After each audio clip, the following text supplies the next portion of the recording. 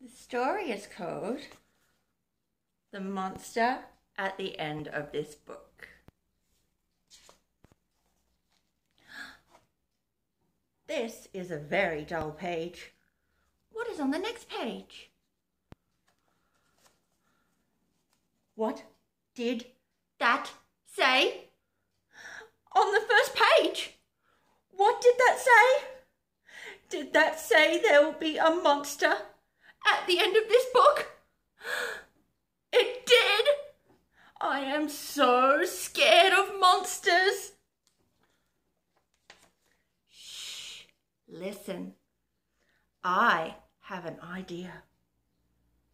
If you do not turn any pages, we will not get to the end of this book.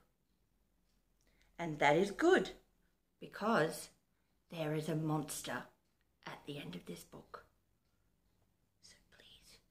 So please do not turn the page. Should we turn the page? you turned the page! Maybe you do not understand. You see, turning pages will bring us to the end of this book. And there is a monster at the end of this book. But this will stop you from turning pages. See, I am tying the pages together so you cannot. you turned another page. You do not know what you are doing to me. Now, stop turning pages. Should we turn the page?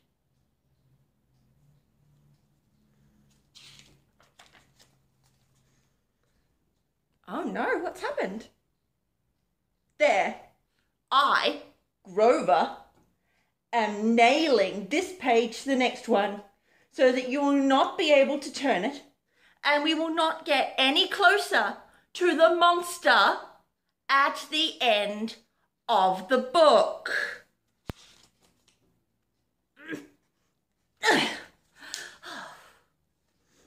all right, all right, all right. You, do you know that every time you turn another page, you not only get us closer to the monster at the end of the book, but you make a terrible mess. This will stop you from turning pages. A heavy, thick, solid, strong brick wall. I would just like to see you try to turn this page. Do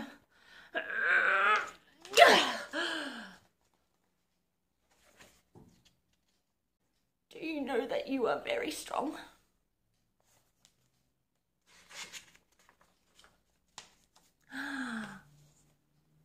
The next page is the end of this book.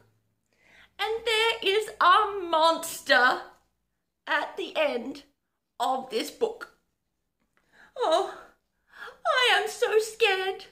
Please do not turn the page. Please, please, please.